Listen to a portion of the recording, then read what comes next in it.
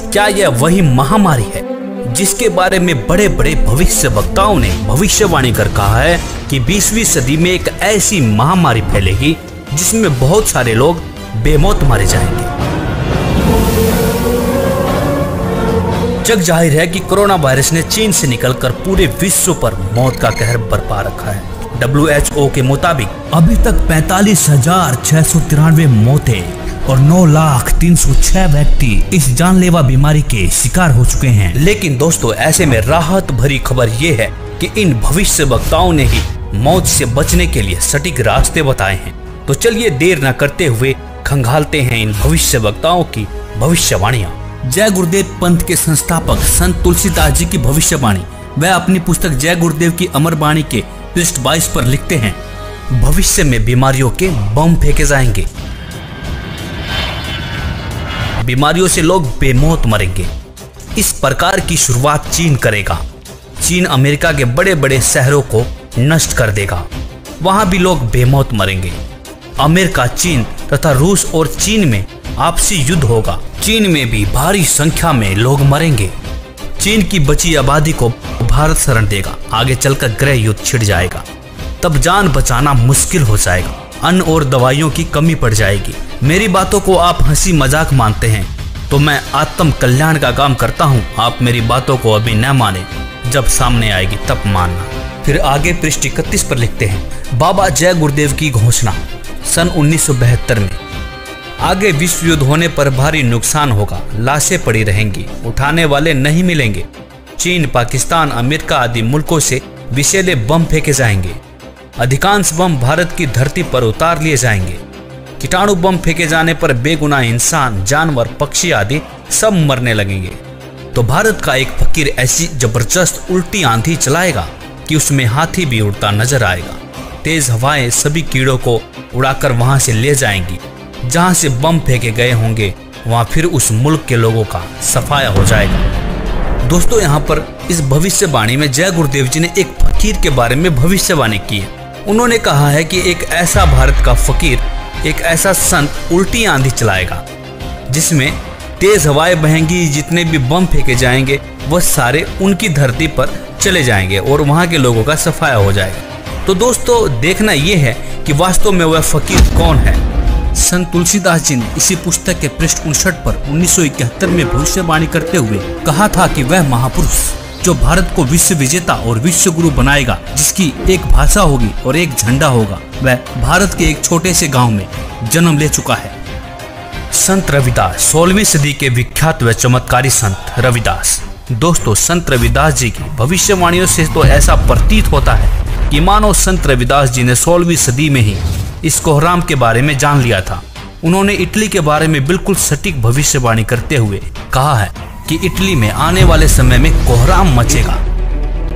दोस्तों, आपको बता दें कि इटली में कोरोना ने मौत का एक ऐसा तांडव मचाया है कि तेरह हज़ार से ज़्यादा लोग मर चुके हैं और एक लाख दस हज़ार से ज़्यादा लोग संक्रमित हैं। संत रविदास जी लिखते हैं, भारत में अवतारी होगा जो अति विस्मयकारी होगा, ज्ञानी और विज्ञानी होगा वो अद्भुत सेनानी होगा। जीते जी कई बार मरेगा, सदम वेश में जो विचरेगा देश बचाने के लिए होगा एक आह्वान, युग परिवर्तन के लिए चले प्रबल तूफ़ान। तीनों ओर से होगा हमला, देश के अंदर द्रोही घपला। सभी तरफ़ कोहराम मचेगा, कैसे हिंदुस्तान बचेगा? नेता, मंत्री और अधिकारी, जान बचाना होगा भारी। छोड़ सब मैदान भागेंगे, सब अपने अपने घर दुबकेंगे। जिन जिन भारत मात सताई जिसने इसकी करी लुटाई, ढूंढ ढूंढ कर बदला लेगा, सब हिसाब चुकता कर देगा। चीन अरब की धुरी बनेगी, विध्वंसक ताकत उभरेगी। सभी तरफ़ संगीन लड़ाई घाटे में होंगे ईसाई। इटली में कोहराम मचेगा। जी हाँ जहाँ पर तेरह हज़ार से ज़्यादा लोग मर चुके हों, उसे कोहराम कहना गलत नहीं होगा। इससे बड़ी क्या त्रासदी हो सकती है? लंदन सागर में डूबेगा। जो तीसरा प्रलयकारी जो होगा भारी सहारी। भारत होगा विश्व विजेता, भारत होगा विश्व का नेता, दुनिया का कार्यालय होगा, भारत में न्यायालय होगा। तब सतयुग दर्शन आएगा, संत राज सुख बरसाएगा। सहस्त्र वर्ष तक सतयुग लागे विश्व गुरु बन भारत जागे। जैसे कि तुलसीदास जी ने एक फकीर, एक संत के बारे में भविष्यवाणी की थी, उसी संत के बारे में भविष्यवाणी यहाँ पर रविदास जी भी कर रहे हैं। कह रहे हैं कि तब सतयुग दर्शन आएगा, संत राज सुख बरसाएगा, सहस्र वर्ष तक सतयुग लागे विश्व गुरु मन भारत जागे। जैसा कि आपने पढ़ा कि दुनिया का कार्यालय होगा, भारत में न्यायालय होगा। तो न्यायालय से तात्पर्य है आईसीजे मतलब इंटरनेशनल कोर्ट ऑफ़ जस्टिस जो कि वर्तमान में अमेरिका में है, वह भारत में चला आएगा।